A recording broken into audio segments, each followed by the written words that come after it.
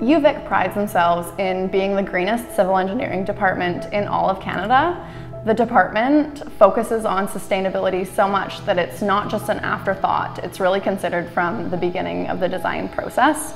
The professors at UVic teach the sustainability to the students through green building design, renewable resources, green technology, smart cities, and much more. And the sustainability is really at the forefront of everything that the UVic Civil Engineering Department stands for.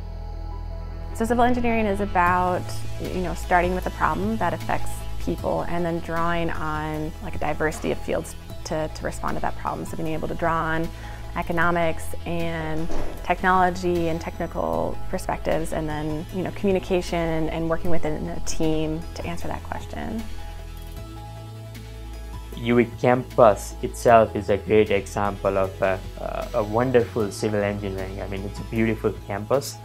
So that also inspires you uh, to do a lot of things uh, in this domain. During my bachelor's degree, I've had two international co-ops in Hong Kong working with a structural engineering firm. And I've also had one co-op here with Environment Canada on campus. And I think it's really great that the co-op program allows us students to have a diverse learning experience and uh, it, it all starts with a civil engineering degree, I think.